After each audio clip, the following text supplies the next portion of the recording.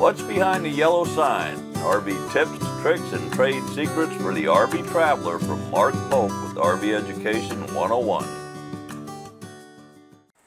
How many times have you gone to your toolbox for a screwdriver and couldn't find the right screwdriver or bit that you were looking for, especially when you're working on your RV? I think most RV owners have been there before. One reason is RV manufacturers use screw types designed to be easy for workers to use and that prevent screw heads from stripping. Let's take a brief look at some history of screw head types, screwdrivers, and the types of fasteners RV manufacturers use today. Why are there so many types of screw heads? There is the slot or straight head screw, which was the first type of screw head invented and used. There are Phillips head screws, hex head screws, Torx head screws, square or recessed head screws, clutch head screws, and eight-point head screws referred to as star screws. And if that's not complicated enough, there are hybrid combination head screws like this Phillips, slotted, and square head combined. During my research on this topic, I found an article that said using square-headed fasteners saved Henry Ford's workers two hours assembly time per vehicle. That's a lot of time and money saved when it comes to assembly line work. So Ford wanted to license the screws, but the owner of the square head screws P.L. Robertson refused. That's when the Phillips head screw owned by Henry Phillips gained popularity in America. Henry Ford needed screws that were fast and easy to use and could be torqued tight for fastening that would hold. As time goes on, technology improves, and years later, long after Henry Ford, RV manufacturers want better designed screw heads that can save time and money on their assembly lines. So all of these different types of screw heads you see today are a result of inventors designing a better screw. What types of screw heads are commonly found in RVs?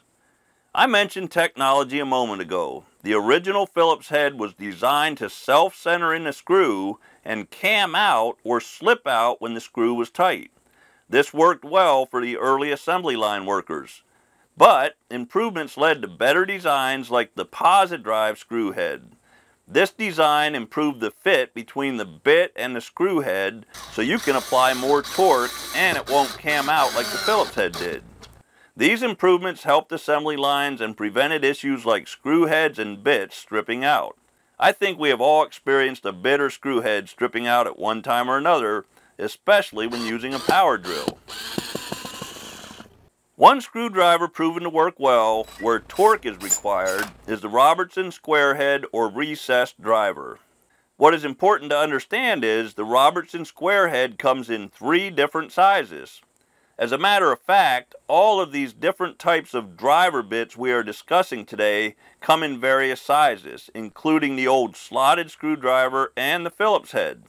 So, understanding the various types of screw heads is one thing, and making sure you use the correct size bit for the screw head is something else.